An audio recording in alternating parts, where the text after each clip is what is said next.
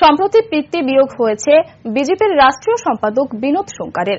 মঙ্গলবার প্রয়াগ রাজে বিনোদ শঙ্করের বাড়িতে তার প্রয়াত পিতা অমরনাথ সোনকার কে শ্রদ্ধা জানাতে গেলেন বিপ্লব কুমার দেব। এদিন শোকাহত সোনকার পরিবারের সাথে দেখা করে তাদের প্রতি সমবেদনাও জানাতে দেখা যায় বিপ্লব দেবকে। সামাজিক মাধ্যমে তিনি লিখেছেন, প্রয়াত অমরনাথজির আত্মাকে ঈশ্বর তার চরণে ঠাঁই দিন।